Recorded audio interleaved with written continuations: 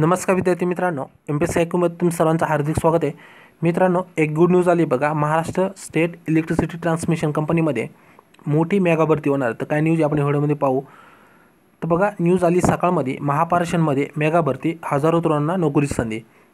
तर महापारेषण काय किंवा महाट्रान्सको काय हे तुम्हाला माहीत पाहिजे. महाट्रान्सको शॉर्ट फॉर्म आहे शब्दाचा.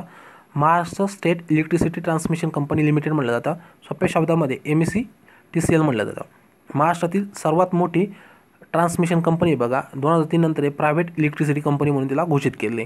याच्याबद्दल डिटेल तुम्हाला स्क्रीनवर आहे. बघा याचे जे फाउंडेड आहे किंवा आपण स्थापना म्हणतो त्याला सहा जून दोन हजार पाचमध्ये झाली.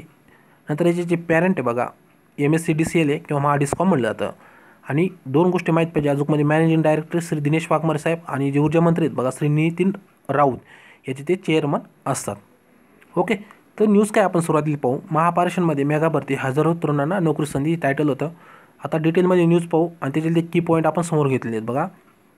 तर बघा ऊर्जा विभागाच्या महापारेषण कंपनीत जवळपास साडेआठ हजार तांत्रिक श्रेणीतील रिक्त पदे भरण्याचे आदेश ऊर्जामंत्री डॉक्टर नितीन राऊत यांनी दिले.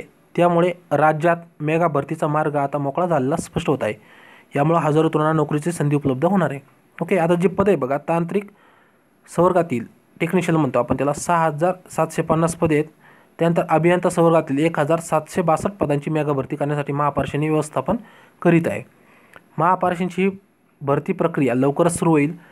नंतर बघा मंत्री डॉक्टर नितीन राऊत यांच्या सूचनेनुसार महापारेषणचे व्यवस्थाकीय संचालन तुम्हाला सांगितलं दिनेश वाघमारे साहेब यांनी पद भरतीचा प्रस्ताव डॉक्टर नितीन राऊत यांच्यासमोर मांडला. त्यांनी त्याला मान्यता दिली.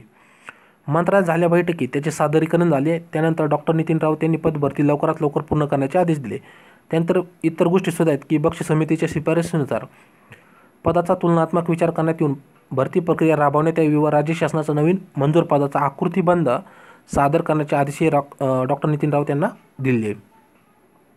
पूर्वीच्या राज्य वि मंडळाने सन दोन हजार पाचमध्ये विभाजन झाल्यानंतर महापारेषण कंपनीत रिक्त पदांची संख्या वाढत गेल्याने गेल्यानंतरही अपेक्षित भरती झाली म्हणजे ज्यावेळी त्याचं विभाजन करण्यात आलं एम एस सी बीचं तर त्यानंतर त्याच्यात भरती झाली नाही. त्याच्यामुळं आता ही जी भरती असणार ही मेगा भरती असणार कारण याच्यानंतर येईन का नाही याची शाश्वती नाही. ओके जे विद्यार्थी बघ कॅपेबल आहे. उदाहरणार्थ आय टी स्टुडंट आहेत बघा टेक्निकल टेक्निकलमधले किंवा जे इंजिनिअरिंग स्टुडंट आहे बघा तर जे महापारेषणमध्ये काम करू शकतात तर त्या विद्यार्थ्यांसाठी ही मोठी संधी आहे त्यांनी त्याचा नक्कीच फायदा घ्यावा. तर ही छोटीशी नोटिफिकेशन होती. मित्रांनो तुम्हाला कशी वाटली? कमेंट करून सांगा. व्हिडिओ जर आवडला तर व्हिडिओला लाईक करा. चॅनलला अजून सबस्क्राईब केलं नसेल तर नक्की सबस्क्राईब करा. भेटू नवीन व्हिडिओमध्ये तोपर्यंत सर्वांना जय हिंद.